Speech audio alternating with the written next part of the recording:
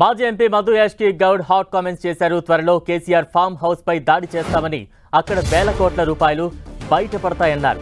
Form హౌస్లో నోట్ల కట్టలపై కేసీఆర్ నిద్రపోతారని లోక్సభ ఎన్నికల కంటే ముందే కల్వకుంట్ల కుటుంబం అవినీతి చిట్టా బయటకు వస్తుందన్నారు. తెలంగాణలో దోచుకున్న సంపదను కేటీఆర్ దుబాయ్లో దాచుకున్నారన్నారు. వచ్చే లోక్సభ ఎన్నికల్లో తాను పోటీకి దూరంగా ఉండనున్నట్లు చెప్పారు.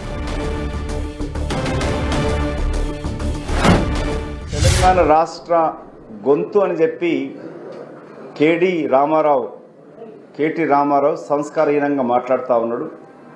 ప్రజలతో ఎన్నుకోబడ్డ ఒక మధ్యతరగతి నుంచి కుటుంబం నుంచి వచ్చిన రేవంత్ రెడ్డి గారి పైన కూడా అనుచిత వ్యాఖ్యలు చేస్తూ ఉన్నాడు.